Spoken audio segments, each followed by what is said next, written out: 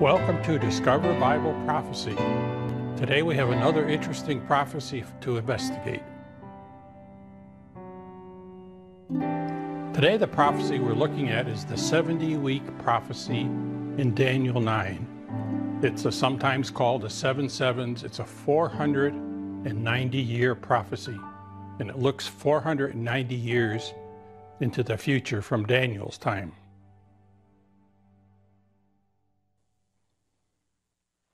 My starting point for this prophecy is in chapter 9 of the book of Daniel. So, how did Jesus view Daniel? What did he say about Daniel? Well, Jesus called Daniel a prophet and treated his prophecies as predictions of future events. So, Jesus said in Matthew 24 15, So when you see standing in the holy place the abomination that causes desolation, spoken of through Daniel the prophet. So Jesus called Daniel a prophet. So, what we're going to do now is go to chapter 9. And in chapter 9, we look down the road into the future with the 70 week prophecy that was given to Daniel. It describes a 490 year period of time that was given to the Jewish nation to repent of their sinful ways, and it predicts the coming of the Messiah Jesus. So we'll be studying that in our lesson today. This is an interesting fact I thought I'd share with you. Uh, the United States was formed, formed in 1776. Now, as of this video that I'm recording, that was 241 years ago. So to give you a better perspective of what 490 years are, that's twice as long as the United States has been in existence as a country. So that's a very long prophecy that was given Daniel. So before we get started in this study, I have a couple things I want to share with you. First off, I'd like to mention what your job is for, for you in this video. What I want you to do is for you to do your own due diligence. Now, due diligence is a term uh, used in, for a process that involves the performance of an investigation, usually of a business or of a teaching, with a certain degree of uh, care and seriousness. So I strongly recommend that you believe nothing I show you today, even though everything I show you, as far as I'm concerned, is true. But I want you to check on your own and investigate and see if what I am telling you is true. And we find that in the Bible also in Acts 17:11. It says now the Bereans, Berean Jews, were more noble in character. Why? Because even though they were listening to Paul and they believed Paul, they went and they examined the scriptures for themselves to see if what Paul said was true. Now, Paul wasn't lying to them. Uh, Paul was telling them the truth. But here in, the, in Acts, we find that these Bereans were more noble because they went to the Bible and they went to verify what Paul said was true. And that's what I'd like you to do. Don't believe anything I show you, especially if it's new, but go to the Bible, and I, you'll see lots of Bible text there, and see if what I'm saying is true. One other thing. Now, this is a cute little dog here with big ears. But I'd like you to hear me out. In Proverbs, it says in 1813, it says, to answer before listening. In other words, to answer before you hear what the person has to say, that is folly and shame. So if you don't agree with me, that's fine. I have no problem with that. If you agree with me, that's fine also. But why don't you look at the whole presentation that I have here and see if there's any merit to it? Then you can critique it as much as you like. That would be great.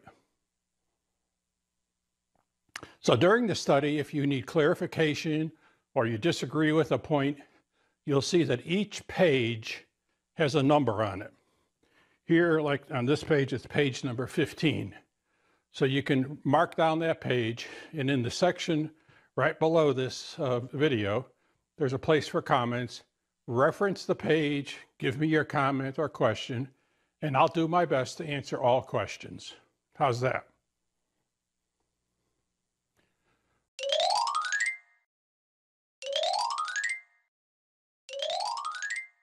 Okay, let's get started. Now, we're going to start today by looking at God's calendar. Now, you may not be familiar with the term God's calendar, but I think some of this, uh, some of you will be familiar with. So, to properly understand prophecy in Daniel 9, you must understand something about calendars, and they can be quite uh, complicated and confusing. So, I'm going to give you as many illustrations as I can and I, I don't want to go too deep in calendars, but only deep enough so that we can explain the scripture from them.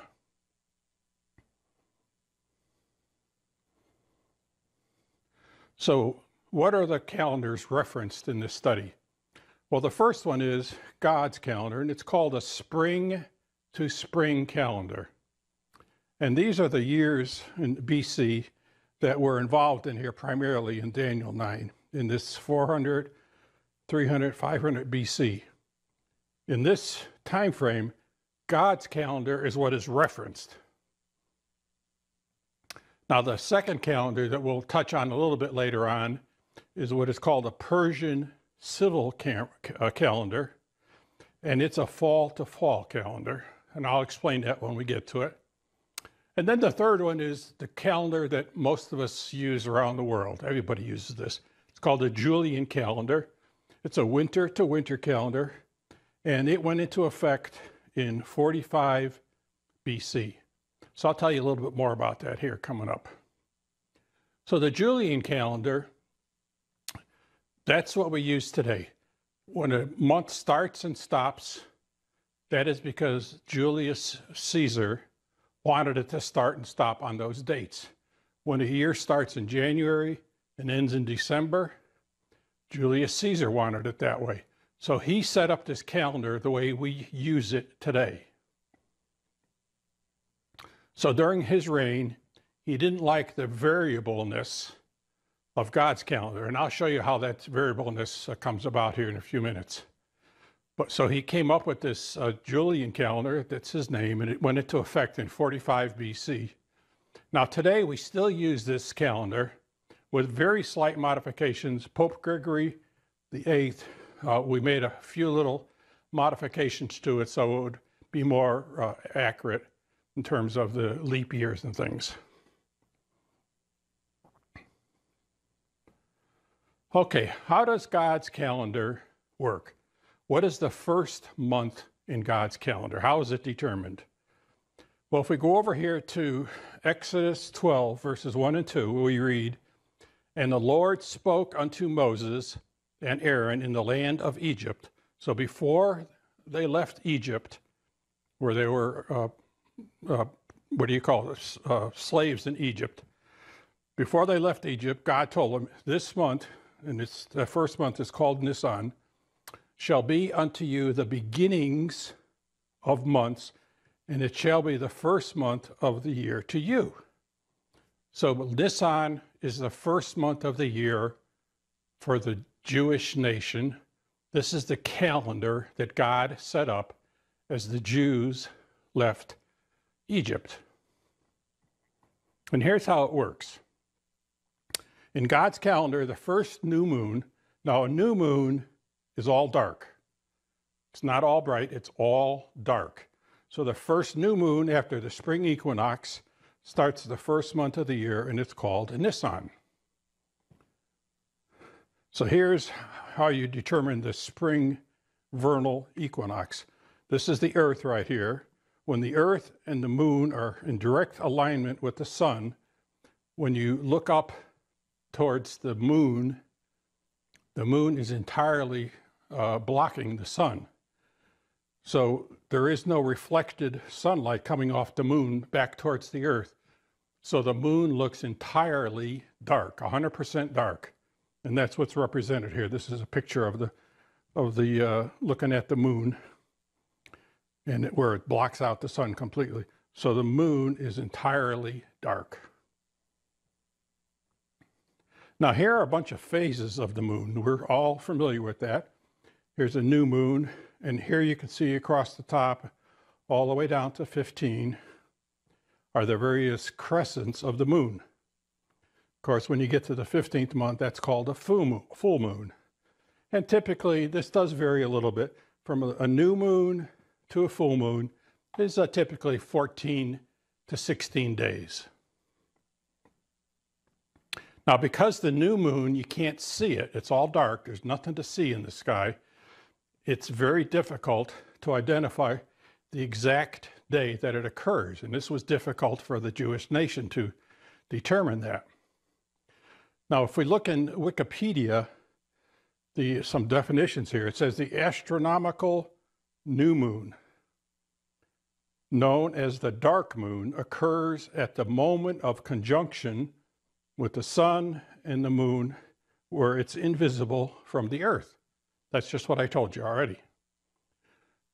Now, in non astronomical terms, the new moon means that the first visible crescent of the moon.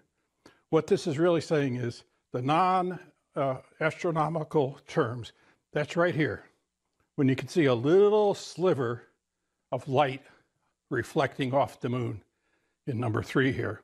And that's what the Jewish nation used uh, to determine the beginning of the month. They did not follow God's instructions. God instructed them to use the new moon, but they chose to use the first sliver uh, of the moon uh, when, when it's you could see that. Okay, so this is an interesting fact, and it does cause a lot of confusion on certain aspects of people studying the Bible, and I'll cover that slightly later on. All right. Now we're going to look at some little more details here about calendars. Now this is the Julian calendar. Like I said, it's a winter to winter calendar. It has 12 months in it, 1 through 12. Starts with January, and in the northern hemisphere, obviously January is winter, and it goes to November, which is also winter. So for the northern hemisphere, this is what you would call winter, spring, summer, and fall. These are the four seasons, the 10, 12 months of the year. Now, this is God's calendar. Now, God's calendar is a little more tricky. It has 12 months, and then every three years, every third year, they add a 13th month to get it synced up again with the, with the seasons. So, God's calendar, you notice the first month here does not line up with the first month on the Julian calendar. They're different. So, why and how are they different? Well, this is the rule that God set up. After the spring vernal equinox, that's the, the first new moon you see, the first 100% dark moon, you look for that after the spring vernal equinox. And when that occurs, you declare that Nisan, the month of Nisan, has officially started. There are actually uh, people in the in, in the uh, the sanctuary uh, service or the sanctuary group of people that actually their job was to watch the moon and determine when it's Nisan one or the first of every month, and they were officially declared it the month has started. So this is important to remember. So I'm going to put a little a little sign here. It says, remember this as we go along. This is something that's important and uh, it's, it's, uh, it's going to add up as we go through. These important little things here are going to add up and give you a lot of understanding into this prophecy. So the first thing we want to say here is what year was the order to restore and rebuild Jerusalem given or issued? So, what I'd like to do is to read you four Bible texts. This 70 week prophecy really consists of four Bible texts 24, 25, 26, and 27. I just happen to have the New English version here. This reads about the same in any version. It doesn't really matter which version you use.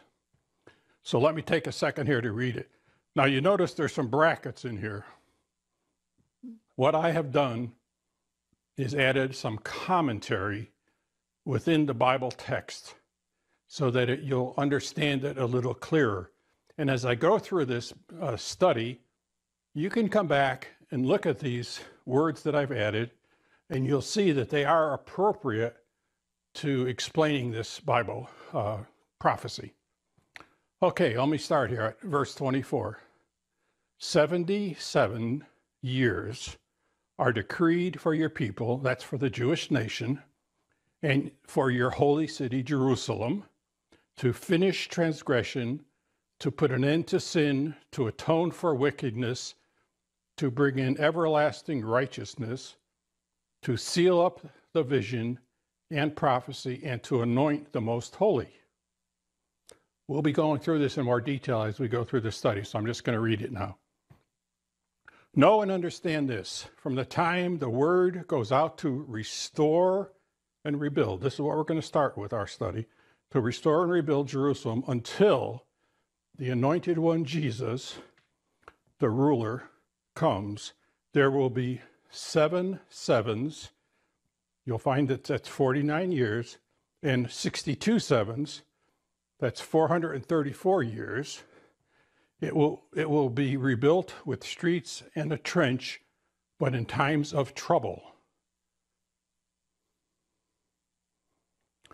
All right, number 26, verse 26.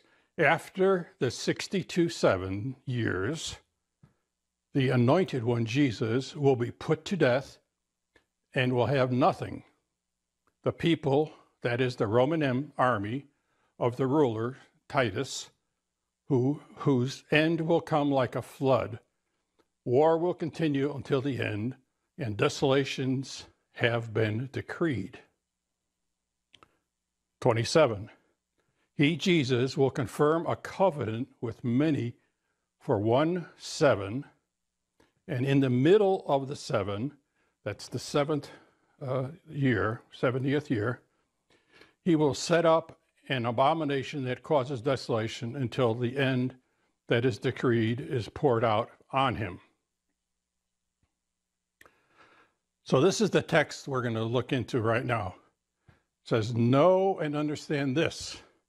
From the time the word goes out to restore and rebuild Jerusalem, the city. So, we want to find out what decree went out to restore and rebuild Jerusalem. So remember those two key words as we look at the various texts that refer to this. So we find over the years that there are four different Bible texts that historians associate with the command to restore and rebuild Jerusalem. So we're going to look at all four of these. Okay, this first one is quite popular. A lot of people think this is the correct one. It says, uh, and this is my words, by the way, so it's a, it's a little a bit descriptive here. The 536 to 538 BC decree. So the, the decree people references in that area usually. Of Cyrus in Ezra 1 gave instructions only for the rebuilding of the temple in Jerusalem. It said nothing about restoring Jerusalem itself. Okay, the second decree that you can find in Ezra 6, this references 519 BC. By the way, that's Julian calendar dates. So the 519 uh, BC decree of Darius in, in Ezra 6 was simply his endorsement of the original decree of Cyrus, of this first decree.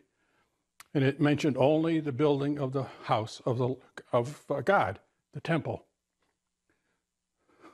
All right, the third one in 457 BC, that decree from Artaxerxes in Ezra 7 refers to both the returning of Jerusalem to the theocratic state, in other words, rebuild the city and, and the rulership there, and restoring of the temple. And then the final one is in 444, 445, and there's a number of people that believe that this is the correct one. And it says this decree of Nehemiah uh, 2 was a restatement of the Artaxerxes' original authorization, number three here, this time naming Nehemiah to take charge of the project. So my evaluation of this is this. One, two, and four are not the proper uh, dates or the proper reference decrees. And number three is, is the one that is the correct one. So I believe that the decree that went out in 457 BC is the correct Julian starting year for this prophecy. So I want to look a little more detail in King Artaxerxes' decree in 457 that ordered the restoration and the rebuild of Jerusalem. And now we're going to add in another calendar on you, confuse you just a little bit here this Persian civil calendar. So let's add that in here. So we're going to start off with the Julian calendar, just like I showed you before. And we're going to add in God's calendar. That's uh, one year. So we got the Julian calendar on the bottom for our reference. And that's the only reason I'm putting this in here is for reference because that's what we use today. The Julian calendar. When did I say it went into uh, effect? 45 BC. So this is 457 BC. This is 425 years before that. There was no Julian calendar when this decree went out. But we're using it here for reference so we, we can relate to it. All right, the Persian calendar was a civil calendar, and it went into effect in the seventh month of God's calendar. That's where it went into effect. And the, the uh, civil calendar was, was used at that time. There were two calendars in effect, God's calendar and the Persian civil calendar. Now, the Persian civil calendar starts at the seventh month uh, of God's calendar, about September, October. And it's sort of like today's uh, business calendars that many companies keep. They don't want to end their year in December 31st because of holidays and a lot of paperwork that they have to do to end the business and start a new year. So they move it to the middle of the year when it's more convenient for them. So that's what this, this Persian civil calendar was all about. So we read here in Ezra 7:11, this is a copy of the letter King Artaxerxes has given to Ezra the priest. You, Ezra, are to take with you on your trip to Jerusalem the silver and gold that the king and his advisors have freely given to the God of Israel. So that we go on here on, in uh, verses uh, 18. You and your fellow Israelites may then do whatever seems best with the rest of the silver and gold in accordance with the will of your God, and anything else needed for the temple of your God you may provide from this royal treasury. So we want to find out when this order went out. So I, I, I kind of darkened in the, uh, the Julian calendar so that won't affect us here. So we're going to start with Ezra 7 8. It says, Ezra arrived in Jerusalem on the fifth month of the year, and on the first day of the first month, and he arrived in Jerusalem on the first day of the fifth month. So he began his journey on the first month and he arrived on the fifth month. So in God's calendar, he started out in Nisan, the first month, and he arrived in Jerusalem on the fifth month. Let's look at another, another text. Ezra 8 30, uh, 31. On the 12th day of the first month, that's right there, we set out from the canal to go to Jerusalem. The hand of our God was on us, and he protected us from enemies and bandits along the way. So they, they left on the first, on the 12th day of the first month. So we have two references now to their starting of their journey to go to Jerusalem. But you might say, Art, how do I know that Ezra references the first month in God's spring to spring calendar, and he's not referencing God's civil calendar over here. You know, why isn't this first month, this month right here, in the Persian calendar? Well, let's do more, more digging. Over in Ezra 6:19, it says, "On the first day of the first month, first day of the first month, the exiles celebrated Passover. Now, when is Passover celebrated? Passover is always celebrated in the spring in Nisan. The first month of the civil calendar is in the fall. Do we really think that the Israelites would have celebrated Passover in September or October? Of course not. So these references in Ezra all are referring to God's calendar. So I think there's no evidence that's in the book of Ezra that changes the references from the spring to spring calendar to a fall to fall calendar. So I think the argument that some people make that the uh, calendar was the Persian civil calendar is there's no grounds for that. It's God's calendar that was referenced. So my conclusion is this. In the spring of 457 BC is the year that the order was issued to restore and rebuild Jerusalem. Stay tuned though, because I have additional evidence coming up that will strongly support the 457 year, totally independent from what I've shown you so far. And also, this is another key fact that I want you to remember as we go through our study here.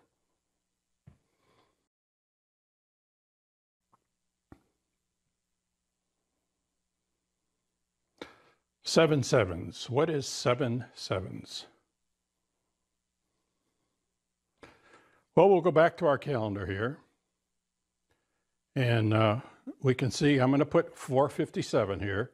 That's Julian calendar. That's not a calendar they used back then. That's a calendar that we used. But I'm going to put that there. January to December, winter, spring, summer, fall, etc. And as the days or the years go towards the cross, the years, the numbers of the years decrease. 457, 456 BC. That's how it goes. It decreases towards the cross. And this is the this is God's calendar on the top. It's a spring to spring calendar. Starts with the first month called Nisan. Okay? And that is the first month of this prophecy. This is the calendar that God is referencing. This is the first year. I said month a second ago, but it's the first year of the 490 years of this prophecy. That's what's on top here. So, what I'm going to do to simplify things a little bit, I'm going to cover up the bottom and the top. Did you notice that? I'm Just going to cover them up, all the little details. So, this is the Julian calendar, this is God's calendar. And I'm going to hide this other stuff here. So we're just going to look at this here, and you'll see how this will help us to, to visualize this uh, prophecy as we examine it. But first, I want to mention something to you. It says, Know and understand this. From the time the word goes out to restore and rebuild Jerusalem until the anointed one, the ruler, comes, there will be seven sevens and you'll, I'll show you how that we get 49 years, but that's 49 years. And 62 sevens, that's 434 years. So to get the seven sevens, we use a prophecy key. And this is found in uh, Ezekiel 4 6, and there's also an, another reference in the Bible to it. But seven weeks times seven days per week equals 49 days, using a one day equal one year key that we find in uh, Ezekiel, 49 days equals 49 years.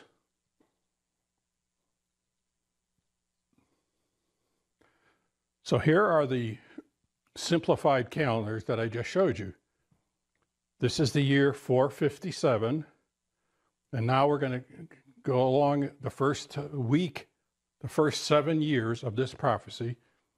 First one year, two, three, four, five, six, seven. The first seven years. And you can see how the years decrease across here. We end up with 451. So this is the first week of the 70 weeks of the prophecy. So let's look at it this way. This whole block right here is the full length of the prophecy. Across the top is one week, that's seven years. In this direction is 70 weeks, and that'll add up to 40, 490 years. So this whole block of time is a 490 year block of time. That's what this prophecy covers, this amount of time, 490 years, okay?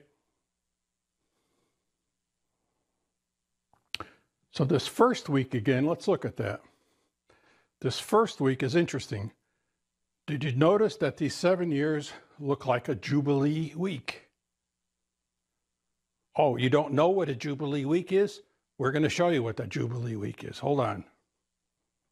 So in Leviticus 25, verses 1 to 5, this is God instructing Moses before they left Egypt Speak to the Israelites when you enter the land. The land itself must observe a Sabbath to the Lord. For six years, sow your fields, and six years, prune your vineyards and gather their crops.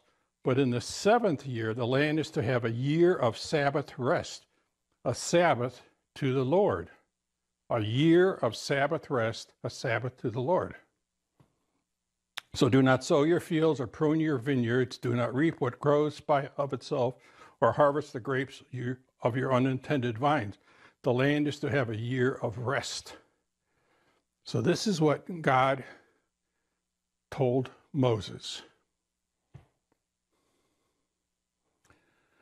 So in, in a, a Jubilee week, the, the seventh year is a year of rest, a year of Sabbath rest. So that one must mean that in our terminology, the first year of the seven years must be a Sunday year. Now, the Bible doesn't call it a Sunday year. They don't call Sunday, Monday, Tuesday like that. The only day they identify is a Sabbath year, but we would call it a Sunday year. And it's also a Jubilee year. So, do you know what a Jubilee year is? I'm going to show you that here in a second. So, here's our first week. I just showed you that. And there's total of seven weeks here. This is seven sevens. So we're still using seven weeks times seven days per week is 49 days using the day for week key 490 days is 490 years. That's what we're showing here. Daniel 29 25. Know and understand this from the time the word goes out, from. From what? From this time right here. From 457, we just found that out. From the time the word goes out to restore and build, rebuild Jerusalem until the anointed one Jesus the ruler comes, there will be seven sevens, or that is 49 years. Seven sevens, 49 years. So this here is representative of the first 49 years in this prophecy. And it's also a Jubilee cycle. Leviticus 25, verse 8 count off seven Sabbath years seven Sabbath years, okay? So let's count off one, two, three, four, five, six, seven. So each of the end of the week, that's a Sabbath year. Count off seven Sabbath years, seven times seven, so that seven Sabbath years amounts to a Jubilee period of 49 years.